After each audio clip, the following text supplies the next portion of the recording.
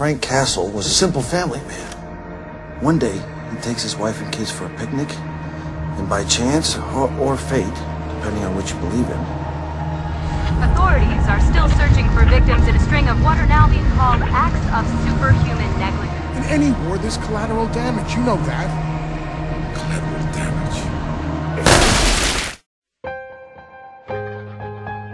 damage. Justice is blind, but it can be heard. And today, the truth will come out. Seeing as how you waived your right to counsel, do you have anything to say? Somebody has to punish the corrupt. We could never die. We can find a way to settle this.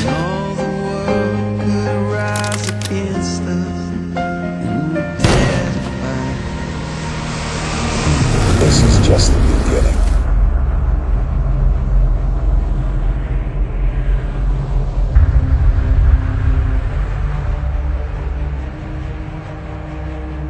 Killed one of the good guys.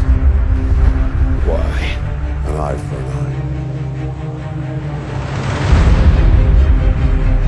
You think your wife and daughter would feel good about you killing in their name? My wife and daughter can't feel anything. They're dead. since then, he's been taken down one after another.